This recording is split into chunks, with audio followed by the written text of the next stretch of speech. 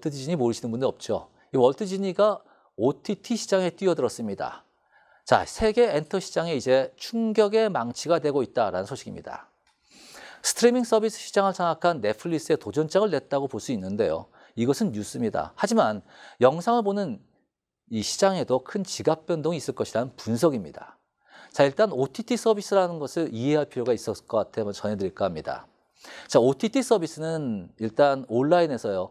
가입과 탈퇴를 할 수 있고 또 원하는 컨텐츠를 디지털로 언제든지 골라볼 수 있는 것을 말합니다.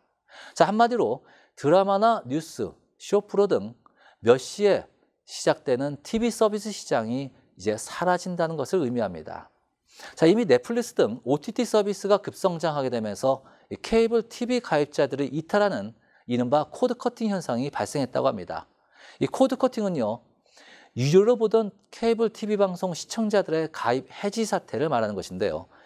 이 시청자들의 가입 해지 사태가 줄을 잇고 있다는 것입니다. 통계로도 한번 살펴보겠습니다. 지난해만 세계 스트리밍 서비스 가입자 수는요. 6억 1,330만 명이라고 합니다. 유료 케이블 TV 가입자 5억 5,600만 명을 처음으로 앞질렀습니다.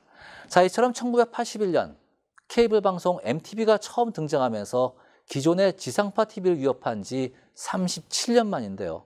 이제 케이블 TV 또한 또 다른 후발주자인 OTT 서비스에 추월을 당한 셈입니다. 자, 올해 들어서만 케이블 TV를 해지한 미국인들의 가입 해지 건수가 수만 4,600만 명에 달할 것이라는 보도입니다.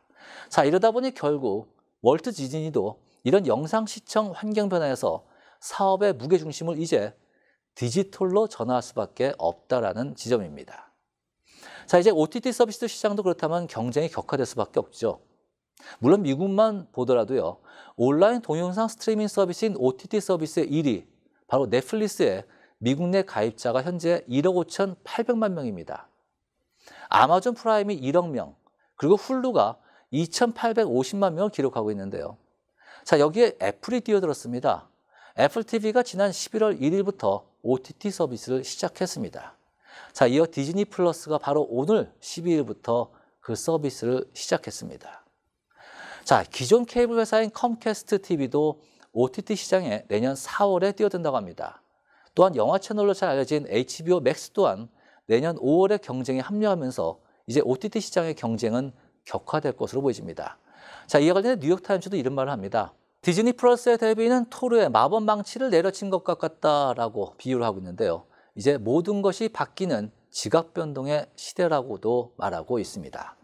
자, 과거 공중파 TV에서 월정액 돈을 주고 보던 케이블 TV 시장 이제 38년 만에 점차 사라지고 있고요. 이제 OTT 시장, 바로 원하는 컨텐츠를 원할 때 볼 수 있는 그런 세상이 도래했습니다. 물론 아마도 당분간은 케이블 TV와 그리고 OTT 서비스 시장이 공존하는 이른바 과도기 시기가 이어지겠지만요. 조만간 이 TV 채널은 사라지고 컨텐츠만을 언제 어디서든 볼 수 있는 OTT 시장이 도래하는 것만큼은 분명해 보여집니다.